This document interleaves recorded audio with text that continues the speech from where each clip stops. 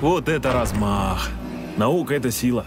Уважаю шефа за его способность смотреть свысока на непреодолимые препятствия. Для науки не существует непреодолимых препятствий. Кроме болтовни всяких электронных перчаток. Получите код активации автомобиля, товарищ майор.